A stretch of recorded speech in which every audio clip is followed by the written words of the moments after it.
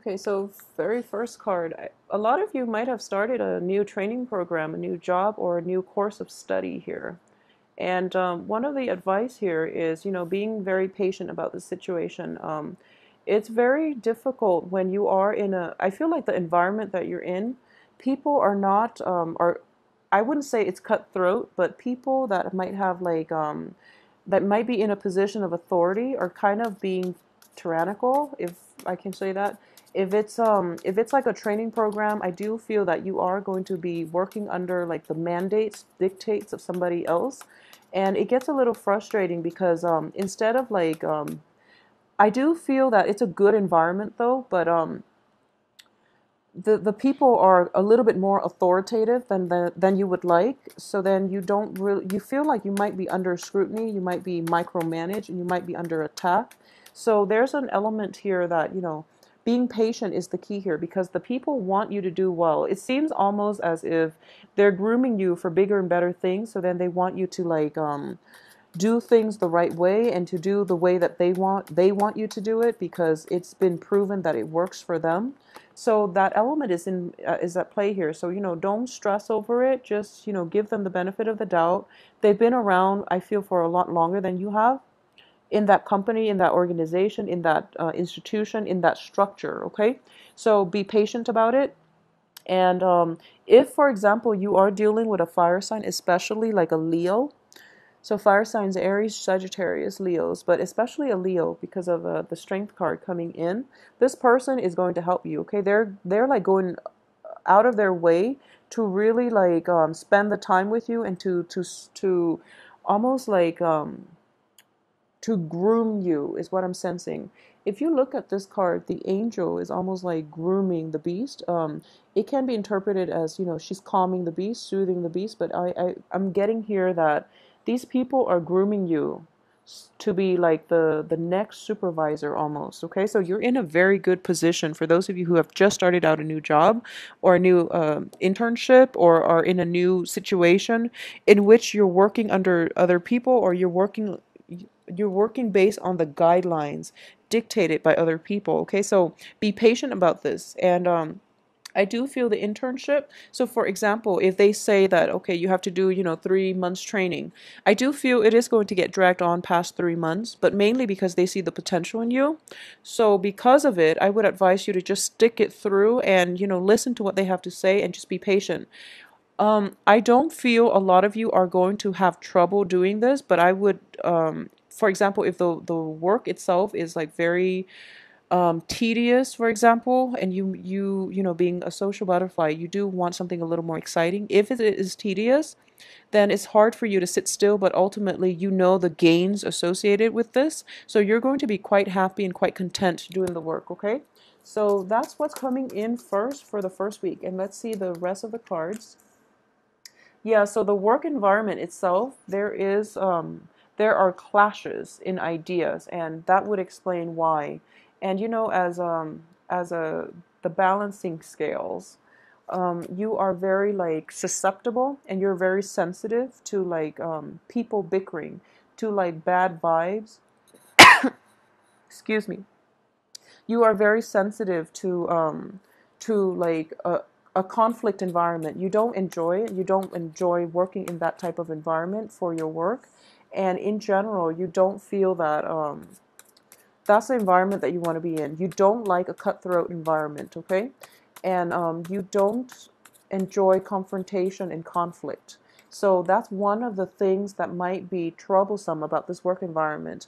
But I can uh, assure you that this is something, you know, sometimes we have like um, things that we avoid, but um, those are things are actually, they might be good for us to cultivate the skills. Like, or your diplomacy, for example, might be required in this work environment and your supervisors might sense that about you so that's why they want to groom you for a supervisory role so that you can mediate like conflict later on when they leave for example okay so either way they sense something in you you you have like um, really good qualities that they're looking for so as a result they're spending their extra time grooming you for this high position and to make sure that um, you do the job right okay so what i am getting as well is um, this work situation itself seems very, very uh, promising.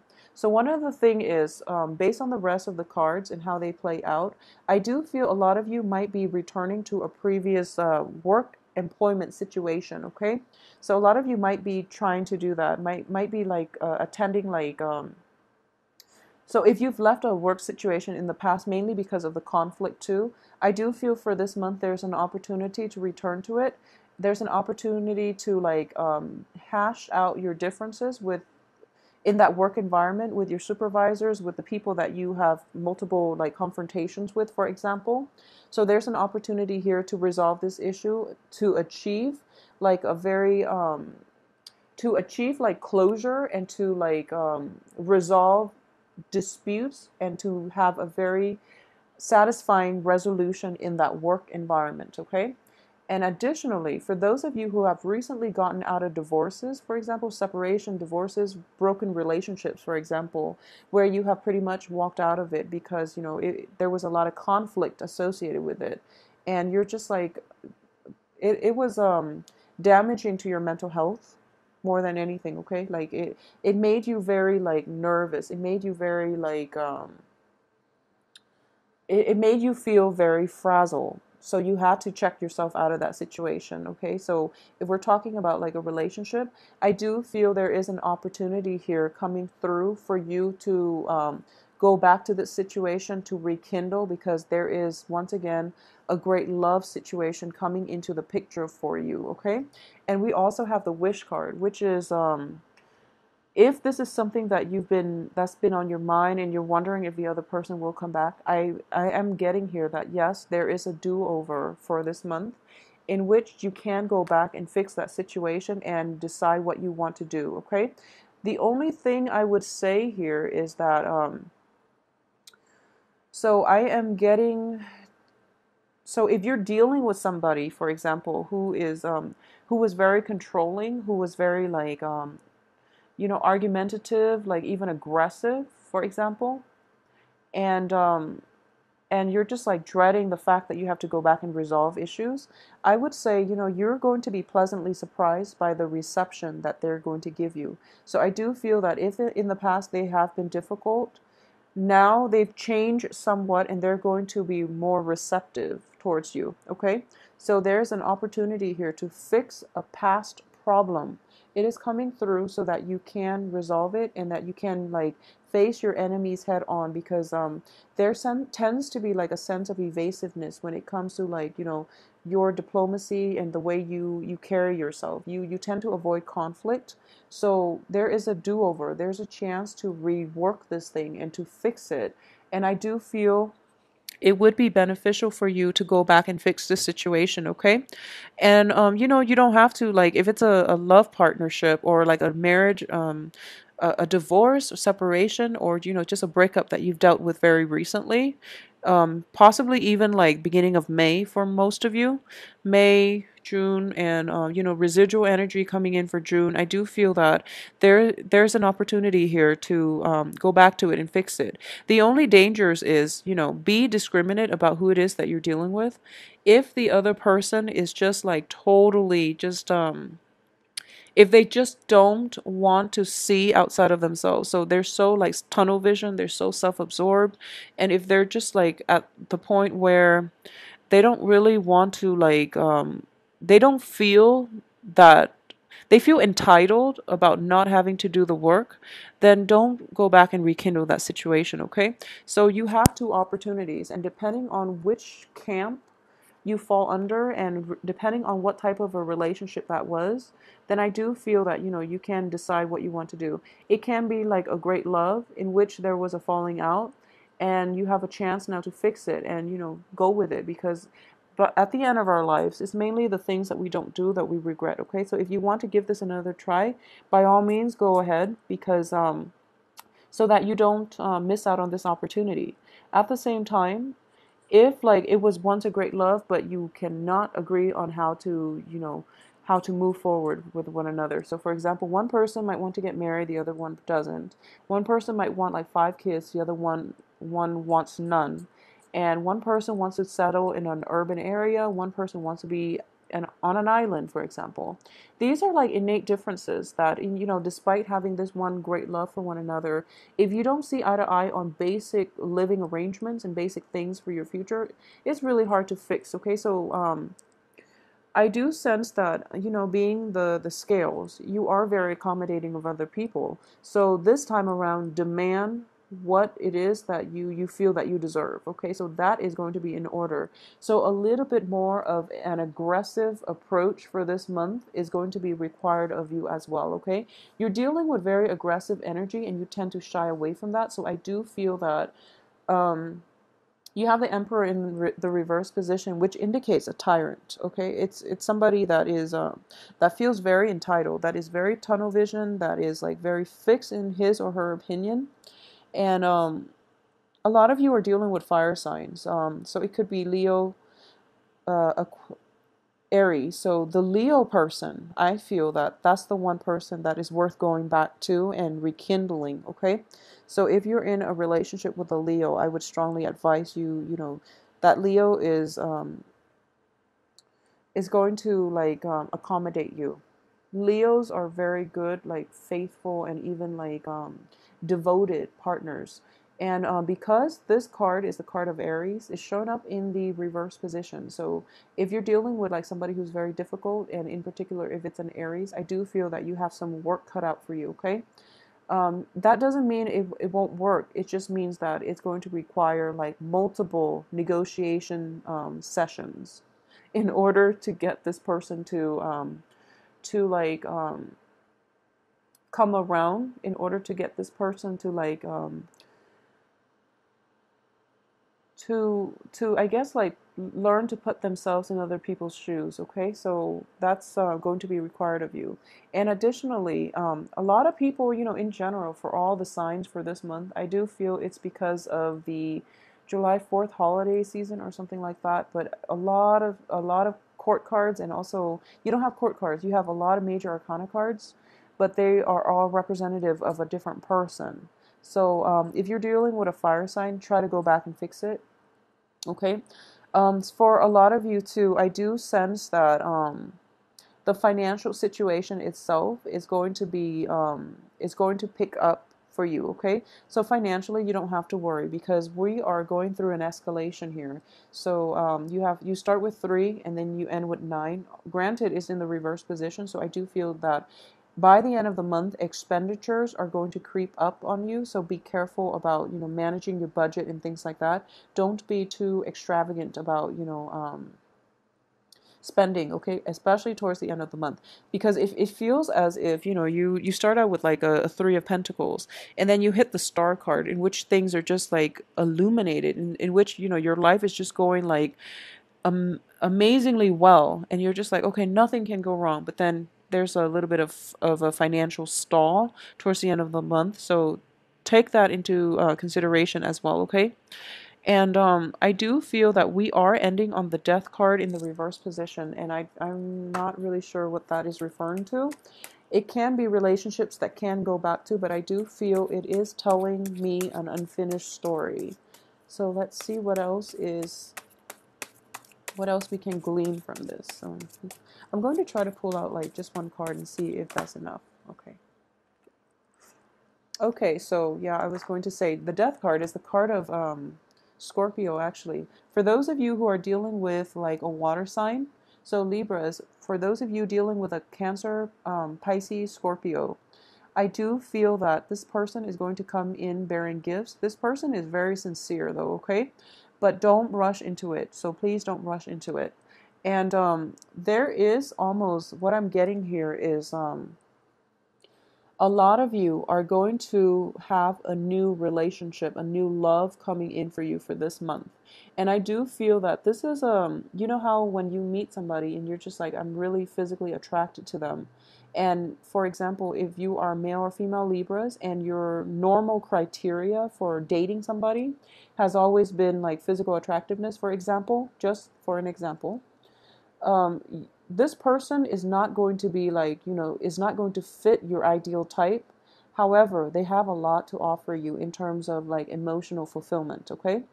And for example, for those of you who are just like, okay, um, maybe your criteria is that you want somebody who is um, i don't know maybe you want somebody of your same ethnicity or you know religious persuasion or you know someone who subscribes to the same political um, belief system for example okay? This person is going to be drastically different from what you have imagined but it is going to work out really well. So the the main thing here is um, don't be too discriminate okay? Give people a chance and let them give them an opportunity to open themselves up. So one of the major theme for this month is that the things that you've been doing you're going to end up doing them differently. And one of the main thing about librans in general is that um, you tend to be very passive okay? Like you you accommodate people.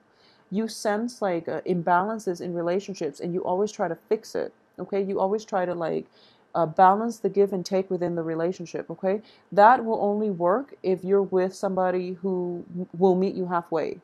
If you're with somebody who takes advantage of you for example they are just going to take and take and take and then you end up with nothing. You end up very depleted and very sad okay? So one of the the main thing is coming through. You have to stand your ground and you have to like be open um, to to to conflict to like communication, to discourse, to uh, conversation. So what I'm getting here is like, um, so for example, you are so sensitive to like arguments and conflict that you try to avoid it. Okay, so if you're meeting somebody who comes with a different worldview, who comes with a different like uh, set of values and opinions about you know the way things work in the world and the way the world functions, ask questions. You know, ask them like, how do you feel about this? Rather than saying, oh, I don't agree with you, just ask to see where they're coming from and to see, like, if it's, you know, if there's any validity. Because I do feel this sense is coming in for Geminis and Aquarius as well, in which you're just like, um, okay, you and I don't see eye to eye, so, you know, we'll, we just can't be friends. Well, that's not true as long as you understand where the other person's coming from you don't have to agree. You just have to like um at least understand where what it is that drives them what what it is that motivates them and what it is that shape their their worldview because we arrived at truths about the world based on our life experiences okay? We don't always have the same life experiences. So that means that you can't de- discredit somebody else's belief system if it doesn't align with yours. So one other thing is that you are going going to encounter a, a person or a situation or like a group of people who are going to ask you to defend yourself. And I mean, like, in a way, that's like, it's not physical defense in which you're all like riled up, ready to fight. I don't feel it's that way, but you might perceive it to be that way. What I'm getting here is um, you're going to encounter people who are very different from you, and they're going to ask you some questions just to see where you're coming from, just to make sense of what you're all about. So instead of tensing up, just tell them like, okay, so you know, this is my life story, and this is what I've I believe, and here are the reasons why I believe the things that I do. And uh, doing that will like not only win you over a lot of um, you know your former opponents, it will also allow other people to understand where you're coming from, and it will also like um, give you that opportunity to display your strength, display your sense of like your resilience, and even like um, to to defend your beliefs. And people will look at you in a different light. Okay, so going back to what I mentioned earlier about um, I about like the new love situation, I do feel it is a, a new lease on love. Okay. So it can be a rekindling type of situation going back to a previous partner. I do feel a lot of you, it is going to be a new person. Okay, this is um, an air, uh, excuse me, a water sign. This is somebody who is quite sincere, who's um, who's also quite passive and shy. Okay, so if you're looking for a partner that you know where you don't have to like have all these disputes all the time, where they always constantly ask you, you know, to defend yourself, and where you feel like the need to be on like um, defense mode, for example, then you're going to meet somebody that you you get along with really well. They're very accepting as well, and they're going to like you know they they approach life with a very like um, open minded attitude. So nothing you say will phase them, and they're not going to ask you. They're not going to corner you and ask you like why did you why do you feel this way? You know like what happened to you to make you feel this way or what about your upbringing that made you believe the things that you do? They're not going to ask that. They're just very accepting and welcoming, and um, sincerely, they truly want to be with you. So this is a very, very good energy for you guys. Um, let me know, please, how this plays out for you. I'm very curious. Um, mainly because Ace of Cups is next to the Lovers in the reverse position. So I do feel that a lot of this is going to be like a new lease on a previous love situation, a resolution to a previous love conflict, and at the same time, it's sort of like having a new love situation in your life that will allow you to um, overcome all the emotional baggage from the past as well okay? So a lot of you might like have ended a relationship and then gone to another and then that one doesn't work and then you're just looking at your your past dating history and you're like oh my gosh two failed relationships well the thing about that is um, when you rush into you know one after the other they rarely work out okay? I've seen it many many times. It just doesn't work out very well. So it is important for you to take some time in between relationships, especially like significant relationships, to heal yourself and to process what went wrong or, you know, what went right or even your involvement, your role in it, to understand it before you can move on to the next thing. Okay, so I do feel that um, if that is something that you're grappling with, where you're just like, one relationship just ended and then you have your eye on somebody else, take some time off, okay? Because this person seems like they're a good fit. He or she is oh, as a water sign seems like a very good fit. So um, you want this one to last, and you know it. It seems like he or she is very sincere, and they're going to wait around for you. So you know, take some time off in between relationships. Don't jump the gun on this one as well, okay? Because you want this one to last, and you want that type that time in between relationships, like that buffer time to heal yourself and to like figure out your next step as well, okay?